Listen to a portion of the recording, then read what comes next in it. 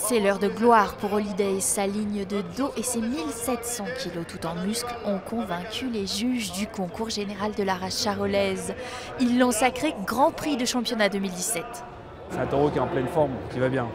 Il ne nous a jamais déçus. Son éleveur Claude Cadou le lui rend bien aux petits soins depuis l'aube pour que le taureau soit resplendissant.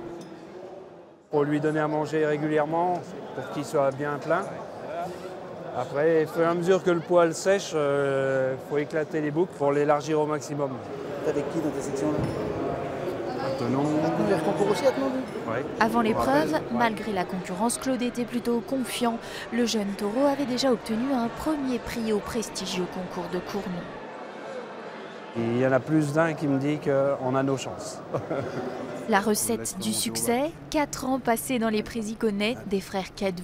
Pour ces éleveurs spécialisés en génétique depuis 40 ans, chaque bête sélectionnée au salon est une carte de visite. Paris, c'est avoir du contact avec certains clients et puis faire un petit peu la promotion pour les produits du, taureau. Et il a une grosse qualité, c'est qu'au niveau de facilité de naissance, on peut assiminer des génisses de lui, euh, le vélage se passe bien. Là, c'est celui de la bonne, Holiday, sûr. Bah, le cru est pas mauvais. Hein. Bon, là, il est encore tôt pour les voir euh, au mieux de leur forme. Mais même nous, déjà, on les voit euh, comme celui-là. Il a des super aplombs, super gueule. On sait que ce veau-là, en fin de saison, il va être dans nos meilleurs. La succession d'Holiday est assurée. Les cadeaux préparent déjà les prochains concours de la race charolaise.